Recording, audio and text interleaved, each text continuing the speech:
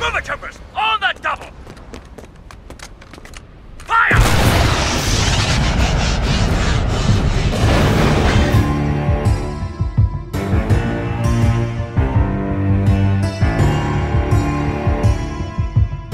Hello there, this is Todd from the Scoundrels Cantina, and welcome to another custom LEGO Star Wars minifigure review. In this video, we'll be reviewing Luke the Other Scoundrels' unofficial LEGO custom Din Djarin the Mandalorian minifigures, which are based on the Mandalorian series. So anyway, let's begin. The first minifigure up is what we like to call the Phase 1 Din Djarin due to the armor that he's wearing, which isn't Beskar but what he wore in the first three episodes of Season 1 of the Mandalorian series. Honestly, we much more prefer this version of him as all the different colors on him make him look quite unique as opposed to simply having generic plain silver armor. The helmet here is entirely a custom mold in comparison to the official LEGO version of the helmet and we think it looks great.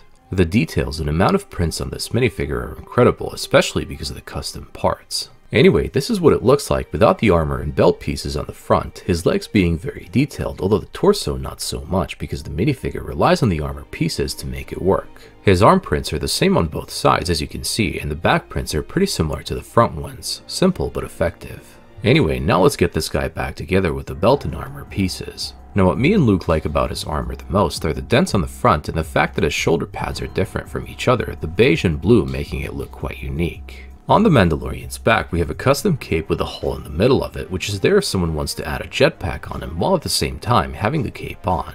Regarding Din Djarin's face, it's pretty simple, though not too important anyway, because the helmet is what matters. Lastly, he comes with a custom Amban Phase Pulse Blaster rifle, which looks absolutely amazing and extremely detailed, especially since it's a single mold piece. This Mandalorian minifigure comes along with a few add-ons like a few antennas for his helmet as you can see, as well as a brown jetpack in order to suit his Phase 1 look, as we like to call it. The add-ons aren't really accurate, but are there so you can have more choices if you want, but by our opinion, he looks the best without them. Now we have the other Din Djarin minifigure, which we like to call the Phase 2 version because of the full body Beskar armor. By our opinion, it just makes him look very generic and not unique in any way compared to other Mandalorians who have loads of details, different colors, and even art on their armor.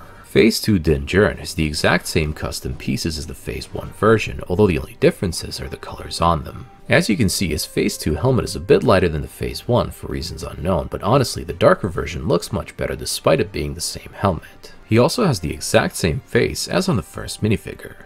Now taking off the armor and belt pieces, we have the exact same concept of prints on the torso, arms, and back, although the only differences in comparison to the other version are the color variations, as it's a bit darker in order to make a nice contrast with the light silver armor and pretty accurate to the series when he got his upgrade. The leg prints are slightly different from the first version, but all in all it's almost the same thing, just that they are now darker brown with silver armor prints. Now when his belt and armor is back on him, we have a different colored cape which is now dark brown just like the torso and legs and also has a hole in the back for a jetpack. Now depending on which version of the Mandalorian you like the most, you can have his Phase 2 Beskar armor with or without the jetpack as seen from Season 1 Episode 3 to Episode 8 he didn't have a jetpack but then afterwards he did when the armorer gave it to him. We think that him being a Mandalorian and not having a jetpack made him in a way unique, despite his plain generic Beskar armor, but all in all, we don't really care as we simply love his Phase 1 version the most. The Phase 2 Din Djarin comes with his custom molded IB-94 blaster pistol instead of the Amban Phase Pulse blaster rifle, which is accurate as he doesn't use it that much anymore since he got his Mandalorian iron armor. Now, for the sake of making this review a bit more interesting, here's Din Djarin with a custom LEGO Darksaber, which we got to admit looks pretty darn cool.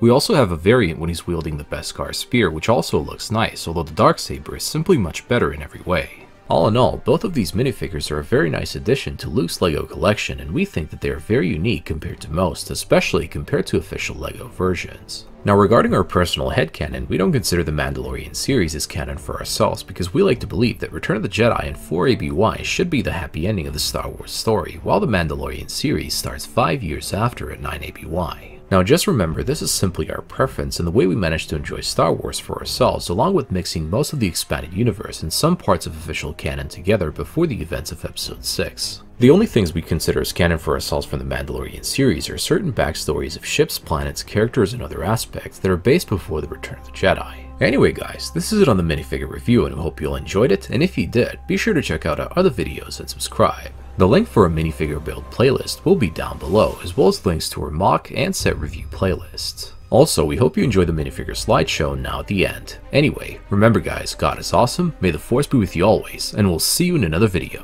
You rebel scum.